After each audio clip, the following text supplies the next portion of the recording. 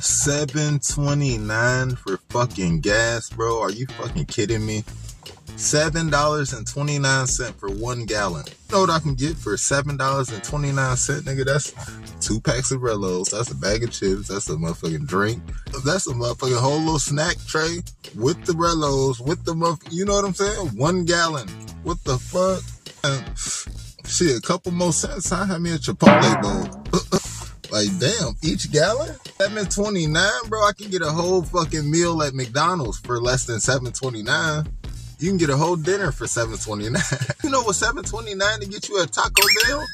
Fucking buy out the store. 729. The fuck? They're getting crazy, man. Anyways, make sure you guys remember to like, comment, and subscribe.